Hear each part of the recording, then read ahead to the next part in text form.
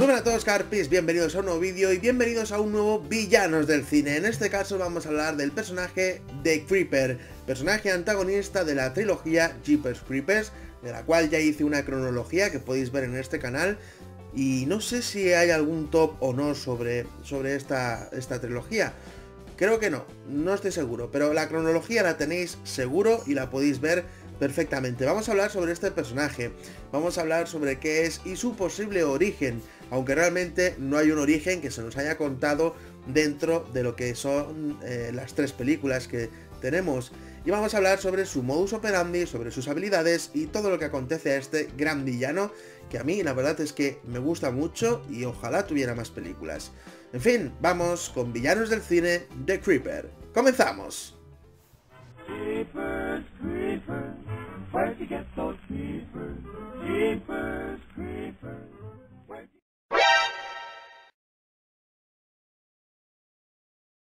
Pues vamos hoy con un personaje bastante popular.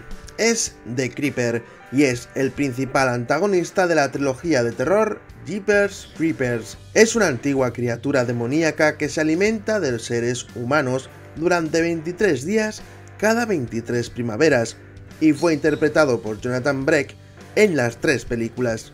Este personaje fue inspirado por el Spring Hellet Jack, una entidad sobrenatural en el folclore inglés de la era victoriana. El Creeper es una especie de demonio que come partes del cuerpo de sus víctimas cada 23 años y que parece casi invencible. Al principio se pensaba que era una especie de adorador de demonios cuando Darry Jenner encontró sus autorretratos. Tiene el pelo blanco y tenue y parece ser incapaz de hablar. Pero, en la primera película, sí que se le escuchó silbar la melodía de Jeepers Creepers, así como The Farmer in the Dell en la tercera película. Además, en una escena eliminada de la primera, además, en una escena eliminada de la primera película, tras matar a la mujer con el gato, él habla, lo que demostraría que sí que puede.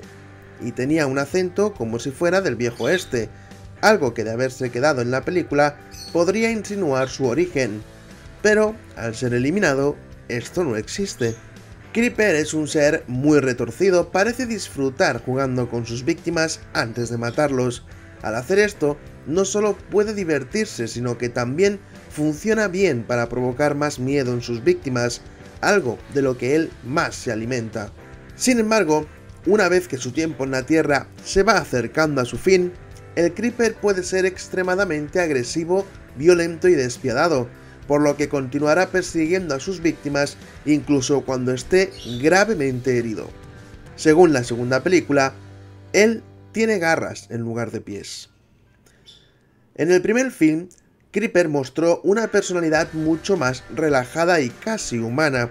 Incluso usa parte del poco tiempo que tiene en la Tierra para hacer obras de arte grotescas con los cuerpos de sus víctimas mientras escucha música tranquilamente. Sin embargo, una vez que su tiempo se acerca a su fin en la segunda película, Creeper comienza a poner todo su poder en uso. Se lanza directo a la persecución y persigue despiadadamente a sus víctimas, deteniéndose solo cuando quiere elegirlas. Creeper, a pesar de parecer totalmente inhumano, tiene emociones e inteligencia como si fuera un humano cualquiera. Bueno, quizás más que algún humano. De hecho, es capaz de sentir la ira, el dolor, el miedo o la diversión. Incluso en según qué escenas, como la escena final de la primera película, le vemos capaz de sentir compasión. Pero no olvidemos que sigue siendo un ser despiadado con sus víctimas y es bastante antipático. Se supone que tiene cientos de años, sin embargo, esto no le impide entender la tecnología moderna avanzada, las armas o la anatomía, además de conducir su camioneta a una velocidad muy poco habitual en un vehículo de este estilo. Creeper sabe de taxidermia, ya que consigue mantener a los cuerpos humanos conservados durante siglos y utilizar algunas partes sobrantes de estos cuerpos para crear sus propias armas. Es un ser muy inteligente y muy calculador. Si aún le queda tiempo en la Tierra, él estudia a sus futuras víctimas desde la distancia para poder encontrar cuáles son los mejores candidatos para él, y así perseguirlos estratégicamente para atraparlos de la forma más fácil. Esto nos hace ver que él no mata porque sí, o de una forma indiscriminada, él elige a sus víctimas después de estudiarlas.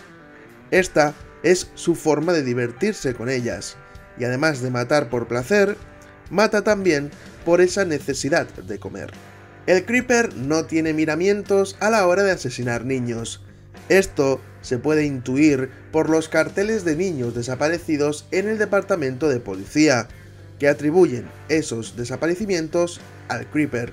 Cuando el Creeper consigue un aroma del miedo de la víctima que a él le gusta, no puede dejar de cazarla hasta que obtenga lo que quiere. El Creeper se alimenta del miedo de la gente. Si una víctima no le muestra ningún tipo de miedo hacia él, aunque es posible que sea asesinada, no se lo comerá, ya que no sintió miedo y eso es algo que a él no le interesa. En cuanto a sus propias habilidades, Creeper puede regenerarse cualquier parte de su cuerpo, devorando la parte que... En cuanto a sus propias habilidades, Creeper puede regenerar cualquier parte de su cuerpo devorando la parte que él le falta de su víctima. Es decir, si el Creeper pierde el brazo, si devora el brazo de su víctima, el suyo se regenerará por completo. Así, consigue sobrevivir siglos y siglos, regenerando su cuerpo y órganos constantemente y por tanto también funciona como un factor de curación. Es un ser que resiste muy bien a los daños y se ha visto en muchas de las películas. Una de las pocas veces que puede quedarse inmovilizado es cuando está en su periodo de hibernación. Durante esta trilogía el Creeper ha utilizado una variedad de armas mientras buscaba su comida.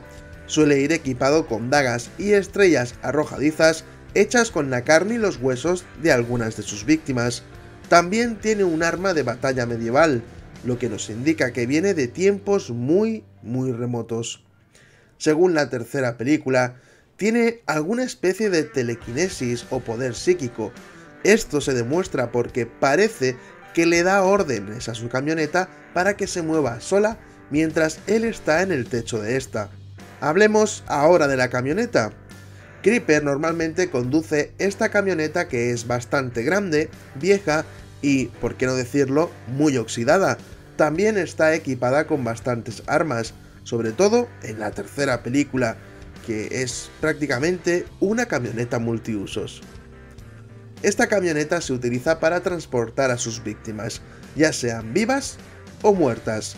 Las lleva a una cueva bajo de la iglesia en el alcantarillado, lo que él llama su casa del dolor, donde cose a sus víctimas.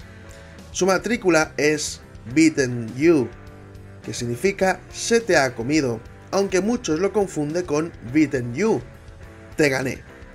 Este camión puede alcanzar velocidades extremas a pesar de su decrépito estado. Por tanto, el Creeper es un demonio muy peligroso.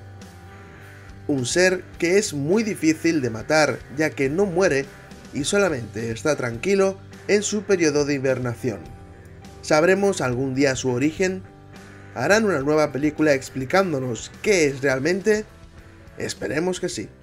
¡Hey! Recordad que podéis seguir a Carpi en las redes sociales de Facebook tanto la página como el grupo de John Carpi, Twitter e Instagram, donde podréis estar atento a las novedades que sube al canal, además de noticias de cine. También podéis seguirle en Twitch, donde serán directos hablando de cine con vosotros y gameplays.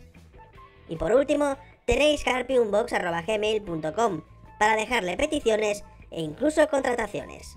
Un saludo, Carpis. Ya hasta que llegamos hoy, este ha sido el Villanos del Cine de esta semana, en el cual hemos hablado del antagonista de Jeepers Creepers. Ahora os toca a vosotros dejarme en comentarios si os gusta o no este personaje, si os parece un icono de terror, como algunos sí consideran, aunque hay otros que no, y si os gustaría que hubiesen más películas sobre este personaje, sobre todo alguna que contase su origen, creo que sería bastante interesante. Muchas gracias por ver este vídeo, espero que os haya gustado y nos vemos en el próximo. Dale like, comparte, suscríbete para más vídeos y dale a la campanita para estar atento a los contenidos del canal. Nos vemos en el próximo vídeo. Adiós.